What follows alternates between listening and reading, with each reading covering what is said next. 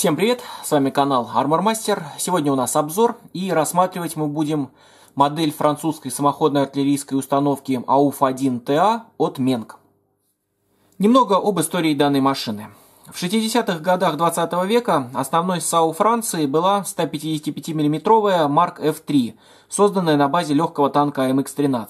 С инженерной точки зрения интереснейшая машина, орудие такого калибра до этого никогда не ставилось на такие легкие шасси, но появилась она не от хорошей жизни. Дело в том, что у Франции, заигравшейся с революционными танками с качающимися башнями, просто не оказалось серийного среднего или основного боевого танка. Естественно, такая эрзац-самоходка проигрывала современным ей М109 и гвоздики. Тем более, открытая САУ была совершенно беззащитна от действия оружия массового поражения, а тогда эта проблема была весьма актуальной. В начале 70-х годов стало понятно, что нужна новая самоходная установка, тем более, что во второй половине 60-х в строй наконец-то вступил полноценный французский основной боевой танк АМХ-30. Упрощение обслуживания и сопоставимая с танком подвижность привлекали французов, и именно АМХ-30 стал основой для будущей САУ. В 1972 году построили опытный образец, а в 1977 году машина пошла в серию под названием АУФ-1. Идеологически она оказалась, на мой взгляд, близкой к мсте. У нее была башня кругового вращения на шасси основного боевого танка. Среди прочего, на ней присутствовал автомат заряжания и защита от оружия массового поражения. Скорострельность достигала 8 выстрелов в минуту, дальнобойность до 30 километров, и надо сказать, что для 70-х годов это очень неплохие характеристики. Правда, конечно, уже к 90-м годам она выглядела довольно устаревшей. Поэтому в 1999 году была создана модификация AUF-1TA с новой системой управления огнем Atlas. Кроме самой системы управления огнем, был модифицированный корпус э, до модификации AMX-30B2, был заменен двигатель и поставлены новые гусеницы. Кроме того, в конце 90-х был разработан проект модификации AUF-2 со стволом длиной в 52 калибра, но от нее отказались в пользу колесной САУ «Сезар». Всего с 1977 по 1993 год э, было выпущено э, более 400 штук АУФ-1. Кроме Франции их эксплуатировали Саудовская Аравия, Ирак и Кувейт. Тем не менее, в боевых действиях, кроме миротворческой миссии в Ливане в 2006 году, данные машины нигде не участвовали. Инструкция. Инструкция, в общем-то, стандартная для Менга. Снаружи у нас цветная картинка, а далее идет историческая справка. Историческая справка на четырех языках, как всегда, присутствует русский, на мой взгляд, более чем исчерпывающая, во всяком случае, более подробную информацию, наверное, можно найти будет только в специализированной литературе, поэтому здесь, как обычно, у Менга просто все прекрасно. Далее комментарии по сборке. Два варианта окраски у нас будет предложено и начинается сама сборка. Ну, тут все достаточно типично. Катки, ведущие звездочки, элементы ходовой части. Сразу видно, что нижняя часть корпуса отлита э, в одну деталь. Ну, я так понимаю, она у нас полностью перекочевала от базового MX-30. Предлагается просверлить несколько отверстий, я так понимаю, в рамках унификации. Ну, я думаю, что в этом никакой проблемы нет. А также э, штоки амортизаторов мы не приклеиваем для того, чтобы у нас подвеска оставалась подвижной. Здесь мы устанавливаем различные мелкие детали и вот как раз переходим к торсионам. Видно, что торсионы вклеиваются только вот в этой части. Здесь, соответственно, они не приклеиваются. Подвеска танка остается подвижной. Ну, весьма неплохое, в общем-то, решение. Те, кому это не нужно, в конце концов могут приклеить ее элементы намертво. Далее мы ставим катки, поддерживающие катки, звездочку. Я думаю, тут все совершенно очевидно. Тоже эти элементы не приклеиваются для того, чтобы иметь возможность вращаться. Далее мы переходим к корпусу. Я так понимаю, все перископы даны прозрачными деталями, различная мелочевка, подробно показано, где что ставить, где что подсверливать. То есть, ну, опять же, типично для Менга инструкция очень подробная и хорошая. Также здесь мы видим э, э, показано, как красить различные элементы шансового инструмента. Ну и, в принципе, с подписями, какая деталь что из себя представляет, тоже, на мой взгляд, работать очень удобно. Далее мы ставим верхнюю часть корпуса на нижнюю. Видно, что здесь увеличена высота крыши МТО, то есть, по всей видимости, это действительно MX-30B2, то есть здесь все, в общем-то, правильно. Деталировка МТО, я так понимаю, тут, наверное, будут какие-то травленные детали, но, опять же, посмотрим при сборке. А далее у нас идут глушители, глушители из двух половин, надо будет аккуратненько подшпаклевать шовчик между ними. Ну и также на канистрах то же самое. Тоже вот э, мне нравится то, что именно подписано, какая деталь чем является. Что, например, вот это, вот это внешний телефон. Ну, достаточно удобно и помогает лучше разобраться, что в прототипе, что из себя представляет. Далее мы собираем кормовую часть, глушители, буксирные крюки, э, устройства для буксировки и так далее. Продолжение деталировки. У нас на выбор даются два варианта кормовых фонарей. Тут уже надо смотреть на фотографии конкретно вашего прототипа. Ну, на самом деле было бы неплохо, если бы было явно указано, на какой вариант окраски, какой фонарь брать. Но, к сожалению, этого здесь у нас нету. Продолжение деталировки кормы. Да, как раз таки вот у нас начинаются травленные детали. Достаточно подробно показано, как их гнуть. Я думаю, что проблем быть не должно. Хотя, конечно, в идеале бы дали какой-нибудь шаблончик. Но, с другой стороны, в виде шаблона можно использовать вот эту вот пластиковую деталь. Поэтому тоже переживаемо. Далее у нас идут а, два варианта фар. Тоже надо смотреть на а, конкретный прототип, какой вам, какая вам больше подходит, потому что Менк явно не указал, какая куда нужна. Мы переходим к носовой части. Ну, тут тоже все достаточно просто, на мой взгляд. Фары, брызговики, различная мелочевка, ящик ZIP. Далее у нас идут тросы, установка ящика ZIP и зеркала. Зеркала как опцию можно поставить либо в поднятом виде, либо тут явно указано, а, каким образом а, ставить зеркало в опущенном виде. Также здесь у нас есть а, размерная линейка для того, чтобы точно подрезать трос. Ну, опять же, я считаю, это все просто образцовые варианты инструкции. Трос, передние буксирные крюки, а, ящик ZIP, различная мелочевка, я так понимаю, подножка. Подробно показано, как что ставить, чтобы мы не запутались. То есть, опять же, повторюсь, мне кажется, в плане инструкции здесь все очень здорово. А, ну и вот здесь явно показано, как ставить зеркало в закрытом виде. Далее идут траки. Траки у нас на полупальцах, тут тоже, мне кажется, придраться нечем, не к чему, то есть гусеница у нас останется рабочей. Явно показано, какая сторона внешняя, какая внутренняя, чтобы мы не запутались, то есть, ну, все просто, мне кажется, прекрасно. Далее мы ставим гусеницу на место и переходим уже к башне. Значит, начинается все с бронемаски. Эти все круглые детали в основном отлиты в один элемент, соответственно, шлифовать нам ничего будет не нужно. Далее у нас собирается сама башня. Собирается она из нескольких деталей. Причем, я так понимаю, в этом наборе у нас, в отличие от более раннего набора Менга, никакого интерьера нет. То есть внутренний рельеф показан, а деталировки, боеукладок и прочего у нас, к сожалению, нету. Ну, возможно, это экономия, может быть, это не всем нужно, но мне кажется, пару рамочек с интерьером можно было в этот набор тоже положить. Так, э, далее у нас продолжение сборки башни, командирские башенки, двери. Двери, опять же, сделаны с возможностью открыть, но, к сожалению, в башне у нас абсолютно пусто. Различная дальше внешняя деталировка башни. Ну, я думаю, тут тоже все достаточно очевидно. Антенны, детали шомпола, детали люков. Люки тоже, естественно, можно открыть. Но, в принципе, если посадить туда танкиста, может быть, будет и не видно, что башня абсолютно пустая. Далее у нас э, пулемет. Э, единственное, что после того, как мы приклеим пулемет, мы не сможем открыть или закрыть люк. Соответственно, это решение нужно принять заранее. Ну, опять же, повторюсь, с учетом пустоты в башне, наверное, люки лучше будет все оставить закрытыми.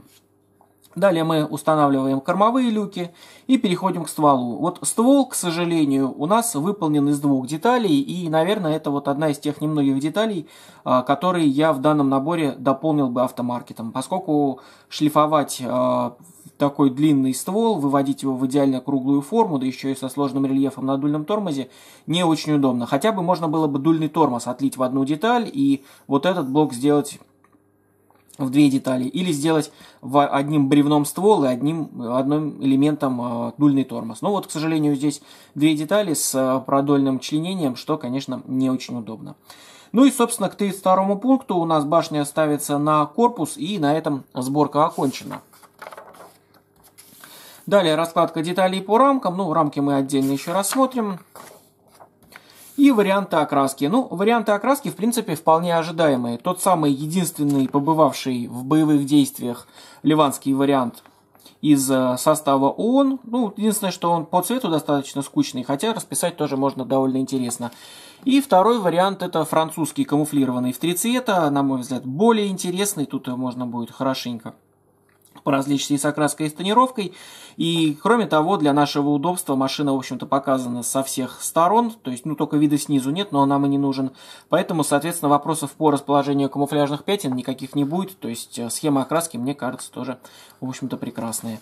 Ну и на последнем развороте, как обычно у раннего Менга, э, цвета в палитре Валеха. Пластик. Пластик в этом наборе ожидаемо скомпилирован из нескольких более ранних наборов. Здесь на самом деле присутствует их целых четыре. Это базовый AMX30, AMX30B2, AUF1 и, собственно, AUF1TA. Рассматривать мы будем их э, последовательно и начнем, соответственно, с рамок базового набора AMX30B.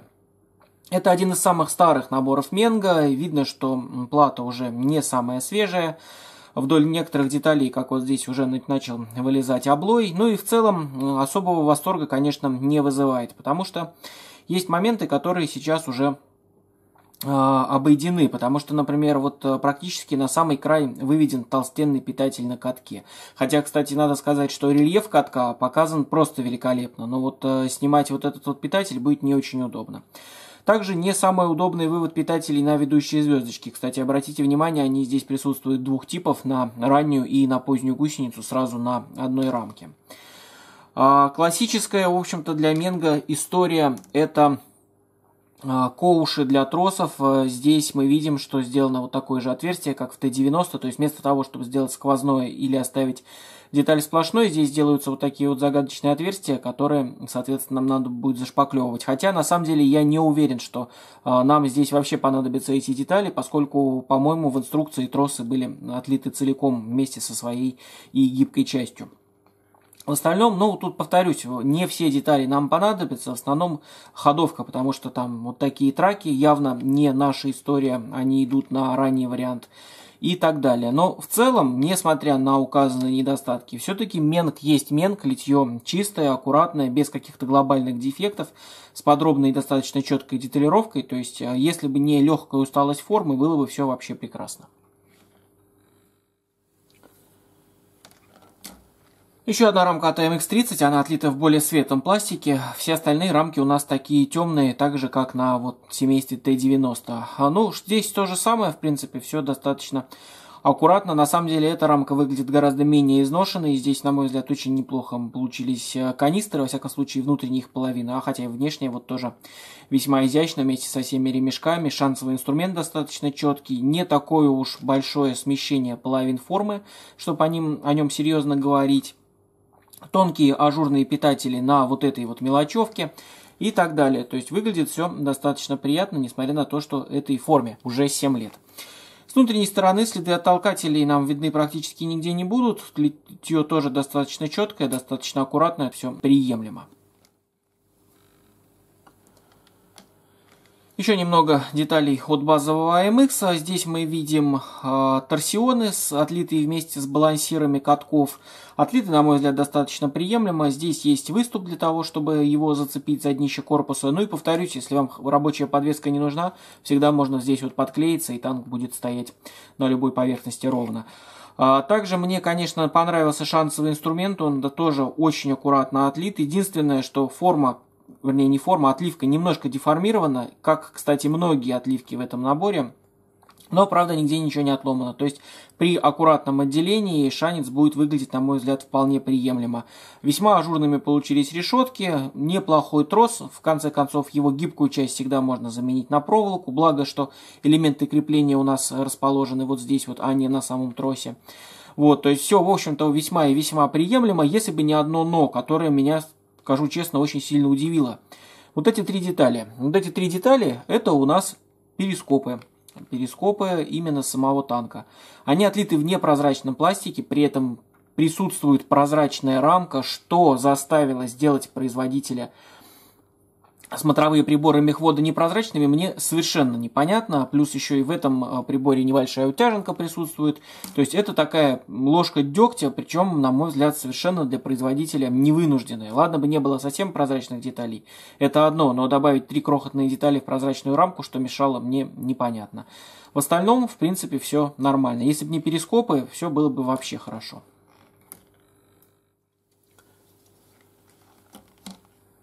Последняя рамка от базового AMX B1. Здесь совсем немного деталей. Верхняя часть корпуса, крыша МТО, которая, кстати, не уверен, что нам понадобится. Нам, скорее всего, понадобится ее поздний вариант. Э, глушители и, я так понимаю, некий шаблон. Причем вот это шаблон, скорее всего, как раз для фототравления на э, глушителях, то, о чем я говорил в инструкции. То есть, если это действительно он, ну, очень здорово, работать нам будет просто и приятно. Само по себе отлито все достаточно чисто, достаточно аккуратно, неплохо показан рельеф. Ну вот борта, к сожалению, мы будем подклеивать отдельно, хотелось бы видеть все эти элементы отлиты в одну деталь, но, к сожалению, что есть, то есть. Ну, внутри тут смотреть не на что, детали все односторонние, интерьера никакого нет.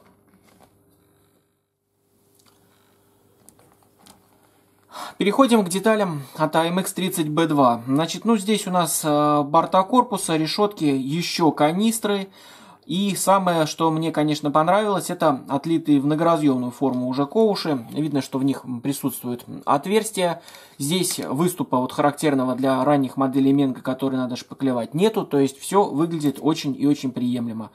А, рамка сама тоже не самая свежая, 5 лет назад разработана форма, но выглядит уже гораздо чище. То есть, например, вот лом, мне кажется, получился практически идеально, на нем даже шва от разъема формы я особо не улавливаю. Поэтому, мне кажется, очень хорошо. Ну и видно, как фирма прогрессировала и прогрессирует. Изнутри следы от толкателей, но видны они особо не будут. Возможно, да, надо будет подшлифовать вот выступающие части следов от толкателей, чтобы вот эти вот элементы борта у нас нормально прицепились к корпусу. В остальном, мне кажется, все очень и очень прилично. Вторая рамка от модернизированного MX-30. Э, здесь у нас э, брызговики, э, крыша МТО как раз таки, кожух вентилятора и различные мелкие детали. Ну, повторюсь, мне кажется, все очень приятно выглядит. На крыше МТО достаточно подробная, аккуратная деталировка. Ну, при желании, конечно, можно это все поменять на травление и проволоку, но я большого смысла не вижу. Мне кажется, все выглядит очень и очень приятно. Неплохо отлиты и брызговики. То есть каких-то серьезных претензий я здесь сходу не вижу.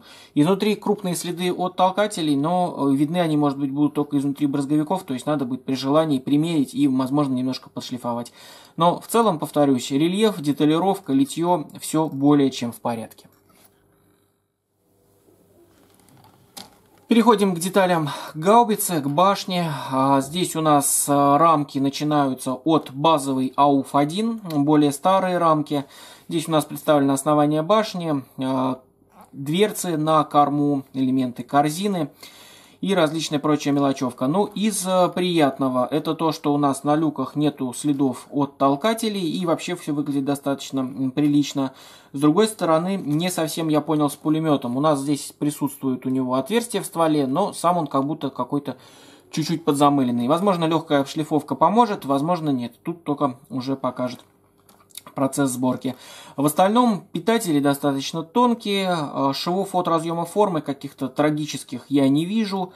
Э, толкатели везде выведены в стороны, правда модель не интерьерная, нам это особо не поможет, потому что двери мы вряд ли будем открывать, но тем не менее все равно технологической точки зрения все весьма неплохо. И я так понимаю, у нас как раз здесь два основания башни для AUF-1, на, э, которая создавалась на базе простого AMX 30B, и более приподнятая, которая шла как раз на наш вариант TA, который делался на модифицированном MX-30B2. У него было повыше немножечко крыши МТО, поэтому башню пришлось немного приподнимать на прототипе. Здесь э, производитель это учел и тоже показал, что мне кажется весьма приятно. Еще одна рамка от гаубицы АУФ-1, более старого модели от Менк. Здесь мы видим борта, переднюю часть, кормовую часть, маску. Ну, из того, что, конечно, не особый восторг вызывает, это, пожалуй, то, что нам придется собирать э, башню из нескольких деталей, соответственно, стыковать, шлифовать, шпаклевать и прочее. Но, опять же, повторюсь, она нам досталась от интерьерной модели. Интерьерную модель сделать в многоразъемной форме, ну, очень тяжело, скажем так. Здесь решили сэкономить. Кроме этого, у нас здесь, я так понимаю, это элементы банника, дымовые гранатометы, ручки. Ну, в целом, все отторжение не вызывает. Также, конечно, весьма симпатично, мне кажется, получился рельеф на передней детали. Тоже здесь все очень хорошо выглядит. Присутствуют литьевые номера, заклепки, щели, все как, в общем-то, нужно. Из того, что не очень хорошо, то, что, во-первых, рамка гнутая, ну, я думаю, это хорошо видно. Я надеюсь, это не привело к деформации деталей, потому что больше всего, конечно, волнуют боковины а, башни. Ну, изнутри все покрыто следами от толкателей, в том числе на дверцах, но, опять же, к счастью, в данной ситуации, к счастью, у нас модель не интерьерная, соответственно, с этим безобразием нам бороться никак не придется. Если не брать следы от толкателей, все выглядит весьма приемлемо. Еще одна рамка от AUF1. Множество мы видим элементов именно старой модификации, те же самые траки с дополнительными грунтозацепами, нам они не подойдут. А, собственно, из того, что нам здесь понадобится, это, скорее всего, вот эти двери, возможно, тросы, часть брызговиков и борта. То есть не так много деталей. Тем не менее, отлито все тоже достаточно неплохо. Никаких э, серьезных проблем я сходу не вижу. Изнутри присутствуют следы от толкателей, нам они вряд ли чем-то жить помешают. Ну, толстоватые питатели на вот этих деталях, конечно, но я думаю, что удалить их тоже особого труда не будет. То есть, повторюсь, в целом впечатление в основном приятное. Последняя рамка от AUF1. Здесь мы видим днище башни, ее крышу, различные другие детали. Из того, что мне понравилось, это, конечно же, противооткатное устройство, вот эти цилиндры, сделанные в одну деталь. На них присутствует довольно заметный шов, но все-таки одну деталь гораздо проще обрабатывать, чем стыковать две, а потом шпаклевать и вышлифовывать. В этом плане все очень неплохо. Из того, что мне не понравилось, это, конечно же, основной ствол из двух половин, разделенных вдоль с огромным швом. Я бы, наверное, однозначно менял его на автомаркет, благо стоит он, в принципе, не так дорого.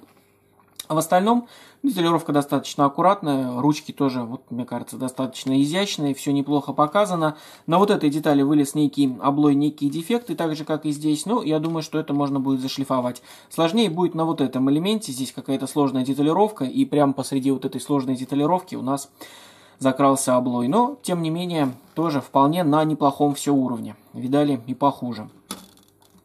Изнутри тоже все, на мой взгляд, э, приемлемо. Я надеюсь, что это все соберется и состыкуется без каких-то глобальных трудностей, глобальных проблем.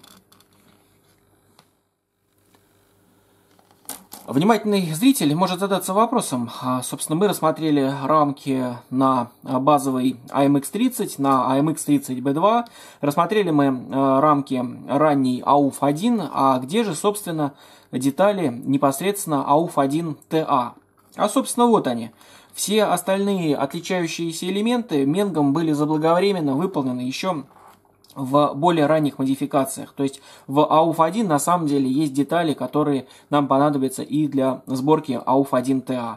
Что принципиально отличается, это вот только вот такие вот новые траки. И это единственная принципиально новая рамка в данном наборе. То есть он действительно является полнейшей компиляцией из более старых. Значит, э, по тракам что можно сказать? Я в инструкции немного ошибся. Э, траки собираются не на полупальцах. Эти траки собираются так же, как на панцергаубице. И что это значит? Это значит, что в собранном виде они выглядят просто восхитительно, э, облегают ведущую звездочку именно так, как и должны облегать подобные траки. Все с ними хорошо, кроме огромного, просто безумного количества работы по их зачистке. То есть нужно быть готовым к тому, что поработать нам придется очень серьезно, потому что количество питателей просто огромное, количество зашлифовок будет тоже совершенно огромное. Но при должной аккуратности получится очень и очень круто. А, с внутренней стороны, ну, здесь э, присутствуют внутри детали и следы от толкателей, но они уйдут на стыке, то есть никаких а, проблем не будет. Единственное, что я не знаю, как здесь, на панцергаубице я обратил внимание, что вот эти элементы лучше стыковать на сухую, а не с клеем, потому что с клеем они начинают расползаться. Здесь надо будет попробовать, но я думаю, тоже глобальных проблем не выйдет. Главное, что гусеница у нас будет, несмотря на всю трудоемкость, рабочая и очень похожая на прототип. Нижняя часть корпуса, ну, очевидно, она нам досталась от 30-го AMX. Здесь, ну, сверху смотреть не на что. Снизу показан рельеф. Все достаточно, на мой взгляд, неплохо. Каких-то глобальных проблем я не вижу. Э, нижняя деталь отлита, передняя и кормовая зацела, соответственно, никаких изгибов, никаких деформаций у нас э, не будет. Вот эти элементы, это швы от разъема многоразъемной формы, их обязательно надо будет аккуратненько зашлифовать. Ну и, в принципе, посмотреть на другие поверхности, тоже, может быть, где-то они вылезут. Но в целом выглядит очень технологично и очень неплохо. Комплект резиновых втулок для того, чтобы ходовая часть осталась подвижной. Ну, тут все стандартно. Вот такая вот нитка, она у нас должна изображать трос, но понятно, что мы ее не будем ставить на такую хорошую модель, подберем что-нибудь либо из самостоятельной проволоки, либо из эврики, но в таком виде, конечно, ставить просто неприлично. Прозрачные детали, ну, здесь все неплохо, если не брать того момента, что не, я не нашел здесь э, оптических приборов механика-водителя. В остальном для командирской башенки все показано, различные элементы, фары, кормовые фонари, то есть все неплохо, но, к сожалению, стекло у нас в наборе не полное, не все детали присутствуют. Плата отравления. Плата отравления именно под этот набор AUF1TA. Ну, здесь у нас э, сетки на глушители, сетка на корму, пара мелких деталей. В общем-то, как необходимо и достаточно, тем более при таком хорошем литье пластика, я думаю, здесь все нормально, больше и не нужно. Кто захочет, уже приобретет себе набор дополнительного травления. Ну и последнее это декаль. Декаль отпечатана картографом, поэтому я думаю, качества вопросов не будет. Э, по самим знакам УОНовские, некие французские номера, ну, на мой взгляд, тоже все вполне приемлемо, вполне неплохо. Во всяком случае, сходу мне ничего плохого в данной декале не бросилось. И, собственно, все, больше у нас в коробке ничего нет. Ну что ж, подведем итоги. Как обычно, достоинства и недостатки. По достоинствам, ну, во-первых, очень неплохое литье. Менг есть менг. Несмотря на то, что здесь компиляция даже из довольно старых рамок, в целом все очень прилично, даже если и нашлись какие-то дефекты, в основном на элементах ходовой, где видно их а, совершенно не будет. Поэтому я считаю, что именно исполнение, именно сами отливки выглядят очень и очень неплохо. Мне, конечно, понравилась рабочая гусеница, она позволит нам сэкономить деньги, и она действительно имеет реалистичный вид, она будет огибать ведущую звездочку именно так, как огибают ее траки данной конструкции, и даже определенная муторность сборки, я считаю, здесь нам особо не помешает. Здесь гусеница, конечно, очень-очень хорошая. По комплектации тоже все приемлемо. Тут у нас и травление, и прозрачные детали. В принципе, модель скомплектована для своих годов, да и даже на сегодняшнем уровне вполне неплохо. Практически все необходимое у нас в коробке уже присутствует. Это тоже всегда приятно. Ну и, конечно, фишка Менга – это инструкция, восхитительная историческая справка, включая русский язык, подробное описание, что как делать, что как красить. И очень было бы здорово, если бы у других производителей инструкции выполнялись бы так же, так как и у Менг. По недостаткам. Ну, прежде всего, незначительные дефекты литья. То есть, литье хорошее, но не идеальное. Часть рамок подустала, кое-где подвылез облой, присутствуют следы от э, толкателей. В большинстве случаев они нас э, волновать сильно не будут, но, тем не менее, они есть, и определенная обработка здесь э, потребуется. То есть, это все-таки, конечно, до современной Японии пока что Китай у нас не дотягивает. Но, повторюсь, это все в основном незначительные недостатки. Никакого криминала я не увидел. Из того, что вот так серьезно не понравилось, это, конечно же, непрозрачные перископы. Ну, действительно, просто непонятно. Просто странно, как так может быть, если у вас уже есть прозрачная рамка. Почему три крохотных детали на нее не добавить?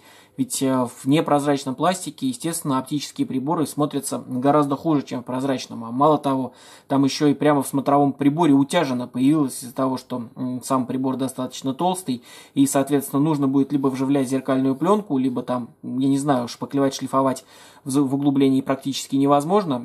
То есть как-то выходить из этой ситуации, и это на общем уровне модели выглядит просто дико. Это такой весьма неприятный недостаток именно данного набора. По мелочи, конечно, поругаюсь на нити строса, ну, она тут выглядит как валенки при парадном костюме. Просто непонятно, почему было не положить кусок копеечной медяшки, тем более, что металлические детали уже в наборе в любом случае травленные есть. То есть, то ли это крохотная экономия, то ли недосмотр, я не знаю, но выглядит эта нитка, конечно, совершенно смешно и неприемлемо, и это первое, что нужно менять в данном наборе.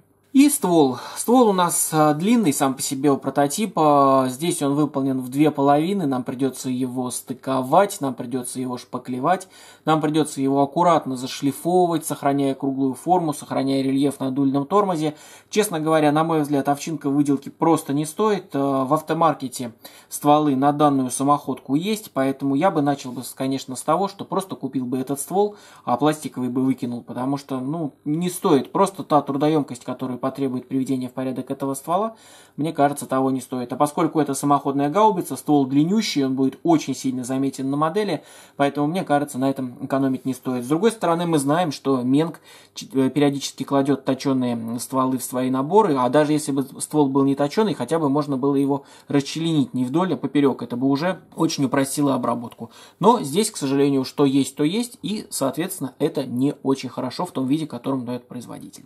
Подводя общий итог, могу сказать, что в принципе модель достаточно интересная. И нельзя сказать, что прототип какой-то изъезженный и избитый. С другой стороны, конечно, я не совсем сходу понимаю, а кому он может быть интересен. Поскольку воевать они толком не воевали, а с вооружения уже сейчас снимаются. То есть именно делать какой-то ООНовский есть только вариант на Ливан или на французскую армию. Ну, понятно, что те, кто интересуется французской армией, они, наверное, уже приобрели и так эту модель.